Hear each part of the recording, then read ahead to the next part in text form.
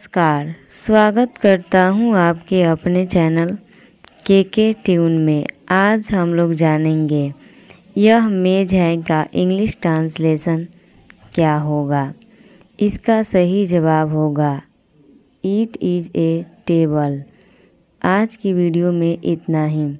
Video अच्छा लगा तो लाइक कर दे, चैनल को सब्सक्राइब कर दे। मिलते हैं अगले वीडियो में। तब तक के लिए आप सभी का धन्यवाद।